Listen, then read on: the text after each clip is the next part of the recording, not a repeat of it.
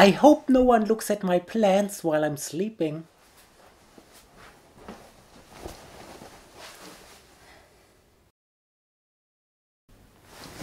Actually, you can, because my channel's